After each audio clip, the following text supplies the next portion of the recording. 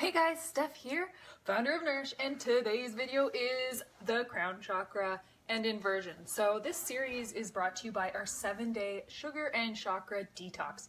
Now, what does inversions or standing on our heads have to do with sugar cravings? Sugar cravings can come from three main reasons. Number one, deficiencies. Number two, habits, good or bad habits. Number three, hormonal, so cortisol. Um, what we're doing with these yoga poses each and every day, specifically tapping into the rest and digest state, is um, we're jumping into that parasympathetic state or getting out of the cortisol driven mode. So, what we're doing today, um, we've worked our way up. We're on day seven of the seven day sugar and chakra detox. By detoxing our chakras, all we're doing is opening them up, and all that this means is opening up our energy systems and today's chakra is the crown chakra. We're all the way up to the top. And today's uh, yoga poses are inversions. So I'm going to show you some easy inversions that you can do um, no matter what level you're at. I'm also going to show you some handstand prep and headstand proper alignment if you are a little bit um, advanced or you're interested in that. And what this do is on a kind of a physiologically physio- physiological level is we're just um, reversing blood flow. So your heart's here, your head's here all day long, it has to pump up to your head. So, inversions, what that does is it gives your heart a break and it actually just allows gravity to bring blood flow there. So, simple inversion if you are at work um, and you're, you work in an office and you don't want to get in your yoga clothes, is really just dangling down, heart above head. That's all. So, that's an inversion. Downward dog is also an inversion. Your heart is above your head. So those are some simple ones. And then um, at the end of this video, I'm also gonna do a five minute restorative inversion, legs up the wall. So grab some wall space. If you um, don't have a wall, you can use a couch, just putting your legs up on the couch or a chair. And we're gonna be doing that after the this video just to, for those of you who are playing along and doing five minutes of restorative before bed, that's a really nice pose to get you calm down and ready for bed. So before we get into that, um, what I'm going to do is show you some handstand prep for those of you who are looking to work on your handstand game, um, headstand prep, proper alignment, and then you have this in your email for those of you who are doing the chakra detox. But our affirmations for today are um, to do with our seventh chakra. So they are I am open to universal intelligence. Everything is connected. I feel whole and complete. I feel peaceful and joyful.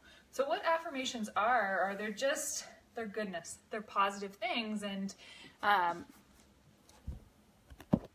the, sorry, video stopping. Affirmations, what that does is it gets us into the proper headspace. So a couple ways I like to use affirmations are actually journaling. So when I write in my journal, I take the top margin of my journal and I write positive quotes, positive affirmations, uh, specifically on what I'm working on at that time. So whether it's financial abundance or for this week it was balancing the chakras and today specifically the crown chakra. Um, some other ways some people like to use affirmations are just um, instead of focusing on the breath, they're focusing on affirmation. So I inhale love, I exhale hate, or whatever you want to say um, for mantras. And today's color is um, violet. I don't actually know if this is violet. Let me know in the comments if this is violet or not. I think violet's like purplish, pinkish. Um, all right, let's get into it. So I will show you some handstand preps to begin with. Again, if you are beginner yoga, yogi, don't do this. Um, we're going to be doing legs up the wall for our pose for today with our five minute timer. So for those of you who want to get into handstand, it is a lot of shoulder work. So shoulder and core is the strength um, that you need for handstands. And using a wall is a really great way to prep. So what you do is you sit with your back against the wall and measure out your feet.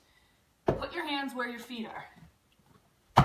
And then you're gonna walk your feet up the wall and get into this alignment that um, you can kind of test out your shoulder, how it feels. You wanna be stacked upon, have your all of your joints and your bones stacked. So it's a really great practice area and arena to see how that feels in your body. So hands where feet were, and you're simply walking your feet up the wall And if you feel so inclined, you can walk your hands back so that you end up in full handstand. So this would be phase one. Phase two is you're actually pushing your butt towards the sky, so your hands and everything, um, your shoulders are stacking over your hands. Phase two, staying here and feeling how that feels. You can stay there, you can lift a leg. This is handstand prep. Lift a leg. And if you feel, you can actually walk your hands back, coming into full handstand.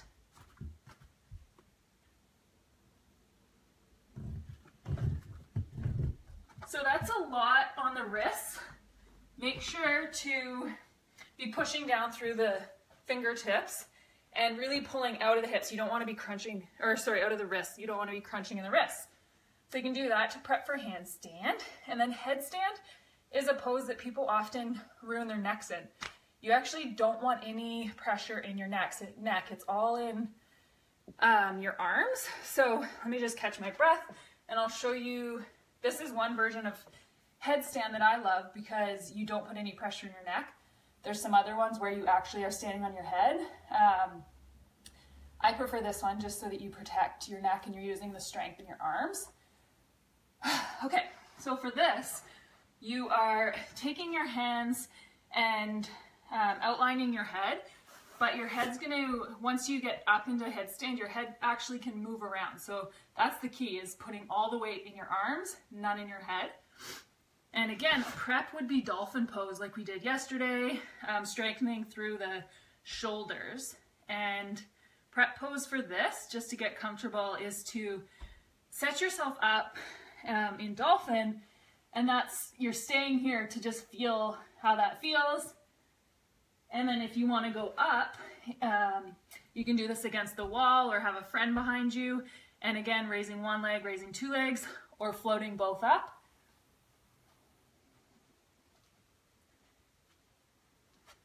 So here, I can actually move my head around. All the weight is going down through my forearms. So that is the beauty of this pose as opposed to some of the other headstands.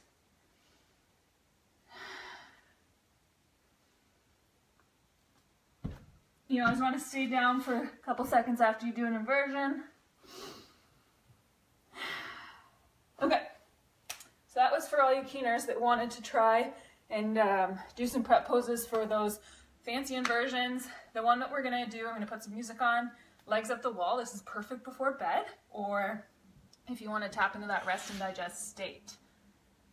Some of our other poses for today to balance the crown chakra are Shavasana. Shavasana is basically good for everything. It's uh, where you lay straight on your back. It's um, tuning into the body, becoming aware. Uh, and lotus pose. Every time you see the color violet today, it's an opportunity to tune in, to become aware of the breath. And let's do this. So we'll do five minutes. You don't have to look at your timer because uh, I'll have it here. You just listen for the chimes. And we'll get some music going.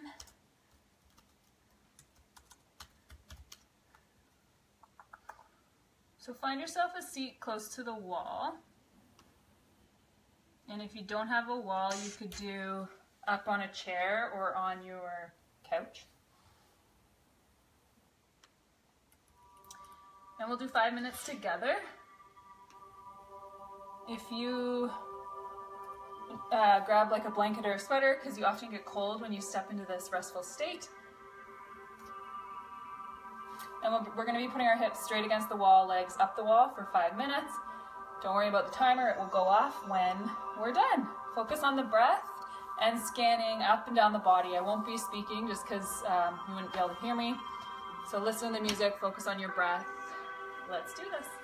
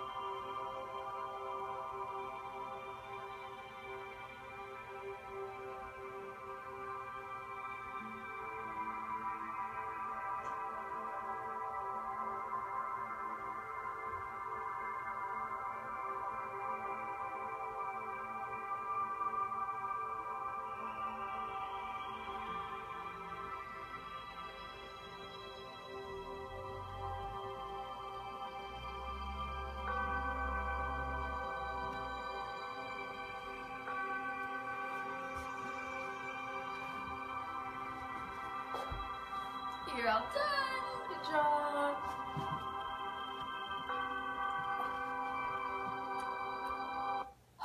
Good job, guys. So that was five minutes of R&R, rest and digest, to step into the parasympathetic state. Um, it's part of our seven-day chakra and sugar detox. The third reason why we might have cravings is because of cortisol or hormonal reasons. Um, that's why we're doing this, and it works. So if you are exercising and eating healthy, but you still have stubborn belly fat, your answer might be that there's too much cortisol. So instead of getting pissed off about being stressed or being busy, let's just do something good, which is add in 60 seconds of breath work, five minutes of legs up the wall, um, a reflexology session, a massage session, whatever you want to feel good, to calm the nervous system, because that really is the secret to getting nourished, to um, cutting cravings if in fact you are eating healthy and you're exercising, but you still have that stubborn belly fat. Um, so for those of you who are um, on day seven, congratulations. It's been my pleasure guiding you through this process. And for your maintenance plan, feel free to connect with me in our support group and we'll set you up with a maintenance plan. Um, what that looks like and means is different for everyone, but um, what we do is we add in things that you're going to do every day um, to not overwhelm you. So, for example, it might be making sure you check you have a checklist. You're having a shake every day, you're having your supplements, you're having a healthy afternoon snack. And even just those three activities, those are really going to put you in that positive mindset, that positive spin, because just as we can spin out of control, we can spin into awesomeness. So that's the Get Nourished way is we add small little things in each and every day for seven days or 21 days, um, 21 days to make a habit, 90 days to create a completely new lifestyle, part of our 2190 system. Um, so the seven day sugar and chakra detox was really uh, an amazing experience um, to just open you up, open up the doors to see if um, our programming is right for you. So join us for next round. We do Sunday setups and then do Monday to Friday the Nourish Reset, the food portion. Saturday, Sunday, the following week, we're wrapping things up, creating your maintenance plan, and um, continuing on with the yoga. Um, that's all, that's it. Let me know in the comments if you got this done. Just do a little emoji. And if you, in fact, see benefit from stepping into the rest to digest, if you know what I'm talking about when I say get out of the cortisol, when I say stress kills, when I say you still have that stubborn belly fat, but you're eating healthy and exercising, if you are experiencing that and you know the power and the benefit, let us know because some people need to see it from other people, need to hear other people's experiences to really understand the power of it. Um, so let me know in the comments if you understand this whole concept of stress kills and the importance of stepping into the rest and digest system, stepping into that calming um, parasympathetic state. Thanks for watching. If you missed the six videos we did before this, they're all under the video tab on my Nourish Facebook page as well as on the YouTube channel. So we went up the chakras, we did all the chakras with different yoga poses specific to each chakra to open up our energy systems. And we're just wrapping up today the crown chakra, which is our highest one, and we did inversions. Thanks for watching, guys, and uh, we'll see you on the flip side.